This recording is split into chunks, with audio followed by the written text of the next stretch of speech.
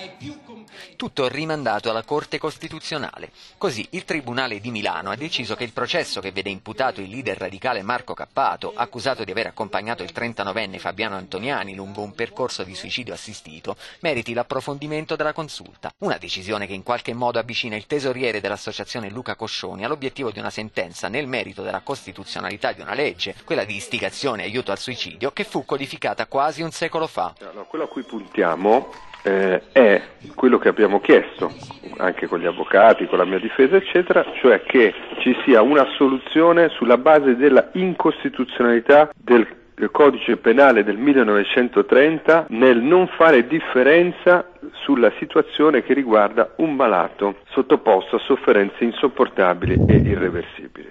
Un'ordinanza, quella del Tribunale di Milano, la cui lettura ha richiesto oltre un'ora. Assolto dall'accusa di aver rafforzato i propositi suicidiari di Fabo Antoniani, Cappato resta ora accusato di averlo agevolato. Secondo il leader dell'associazione radicale Coscioni, l'eventuale giudizio di incostituzionalità della legge che lo ha portato in tribunale aprirebbe nuovi scenari nella battaglia per la legalizzazione dell'eutanasia.